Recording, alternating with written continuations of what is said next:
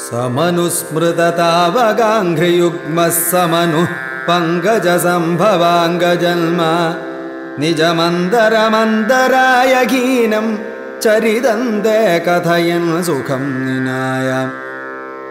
समये खलु तत्र कर्दमाख्यो द्रुहिणच्छाय भवस्तदीयवाचा।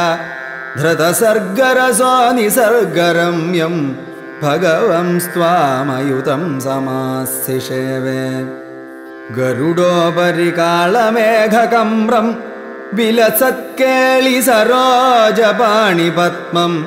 हसितोल्लसिदाननं विभो त्वं वपुराविष्कुरुषे स्म कर्दमाय स्तुवते पुलकावृताय तस्मै मनुपुत्रीं दयितां न वापि पुत्री कपिलञ्जसुतं स्वमेव पश्चाल् स्वगतिं चाप्यनुगृह्य निर्गतो भूः।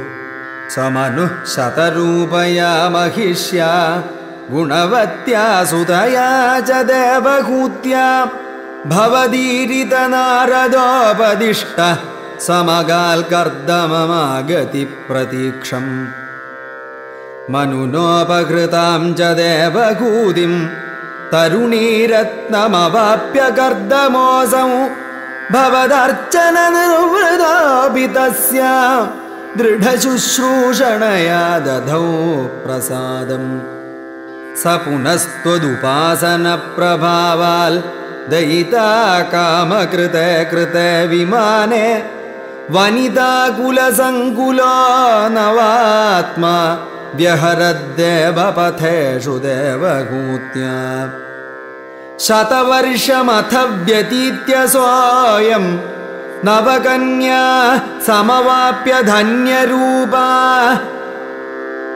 वनयानसमुद्यतोऽपि कान्दाहितकृ त्वज्जननोत्सुकोऽन्यवात्सील् निजभर्तृगिरा भवन्निषेवा निरदायामथ देव देवगूत्यां कपिलस्त्वमजायथा जनानां प्रथयिष्यन् परमात्मतत्त्वविद्याम् वनमेयुषि कर्दमे प्रसन्ने मत सर्वस्वमुपादिशन् जनन्यै कपिलात्मकवायुमन्दिरेश त्वरितं त्वं परिपाहि मां गदौघाल्